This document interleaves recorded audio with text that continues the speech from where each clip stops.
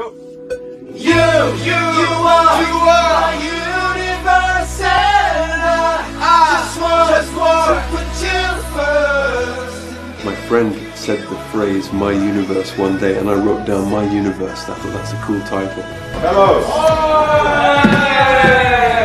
Okay. I think it'd be fun, like a real live performance. So eyes, something that eyes. Are you on to sing? Well, the song is about how the power of love transcends all things, borders and rules and genders and race and ever sexuality. If you look at people right now who are divided by a border or can't be together, that's what the song is about.